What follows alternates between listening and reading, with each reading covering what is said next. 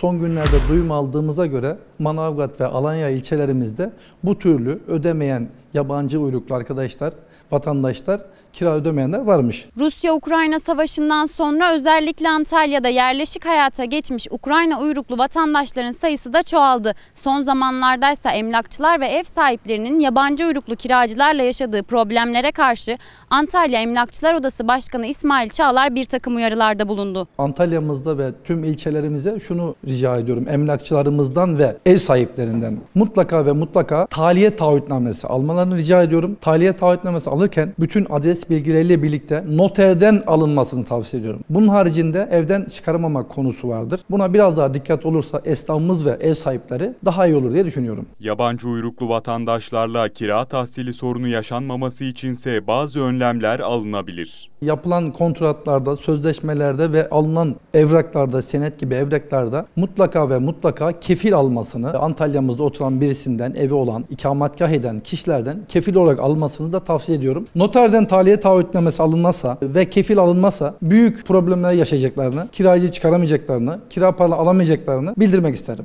İsmail Çağlar vatandaşları kayıt dışı emlakçılara karşı da uyardı. dolandırılmaman için mutlaka o insanın maliye kaydı, oda kaydı, mesleki yeterlik belgesi, yetki belgesi var mı diye sor. Yok ise dolandırırsın. Ne olur belki 1 lira 2 lira fazla alırsınız ama sağlam alırsınız. Her zaman muhatap olabileceğiniz bir kişi olur karşınızda. Kiraların ve ev fiyatlarının yükselmesinde kayıt dışı emlakçılar da rol oynuyor. Bu fiyatları arttıran bu biraz önce anlattığım ayakçı kesimi. Ama adam 100 lira iddia ederse biz bunu 100 liradan sitelere koymak zorundayız. Bunun üstüne satamayız. Altında da satamayız. Çünkü o bizim patronumuz olmuş oluyor. Ev sahibi. 100 lira demez de 90'dan koymazsak bir tane ayakçı dediğimiz arkadaşlarımız ben 110'a satarım diyor. Ve bu ilan alıyor kendisine. Portföy yapıyor. Bunu satılığa çıkarıyor. Hem devlet zarar ediyor hem millet zarar ediyor. Herkes zarar ediyor.